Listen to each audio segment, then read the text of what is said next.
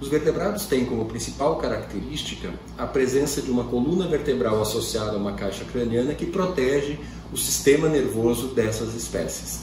São os peixes, os répteis, anfíbios, as aves e os mamíferos.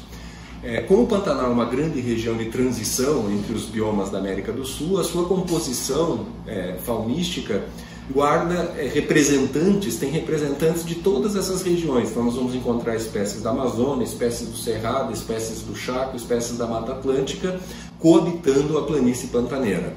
São cerca de 45 espécies de anfíbios, 130 espécies de répteis, 170 espécies de mamíferos, cerca de 270 espécies de peixes aproximadamente, e o grupo mais numeroso que é o das aves, com quase 600 espécies.